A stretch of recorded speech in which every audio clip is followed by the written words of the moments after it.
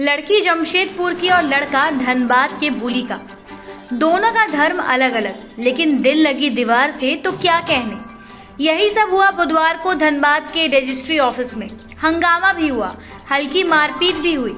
फिर दोनों को पुलिस ले गई। बजरंग दल के लोगों ने शादी का विरोध किया। लड़का लड़की ने तो भरपूर चतुराई की, लेकिन उनका भांडा फूट गया। दरअसल लड़की जमशेदपुर की रहने वाली और घर वालों ने साक्षी थाने में उसकी गुमशुदगी की रिपोर्ट दर्ज कराई है। धनबाद वो चोरी छिपे अपने प्रेमी के साथ शादी करने पहुँच गई थी। प्रेमी भूली के निचितपुर में मैकेनिक का काम करता है। बुधवार को जमशेदपुर के साक्षी के शिवपुरी कॉलोनी की रहने वाली 19 वर्षीय लड़की प्रेम विवाह करने अपने प्रेमी के साथ दोपहर रजिस्ट्री ऑफ़िस पहुँच गई।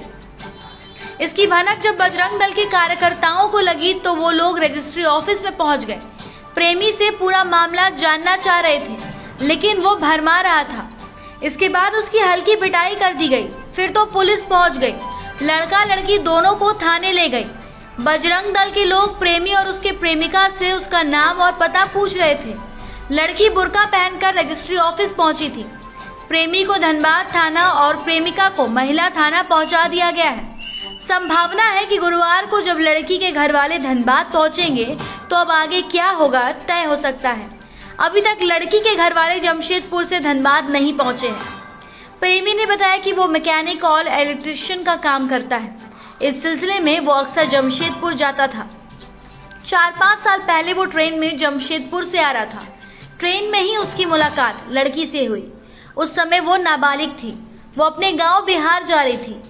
ट्रेन में ही मोबाइल नंबरों की अदला बदली हुई।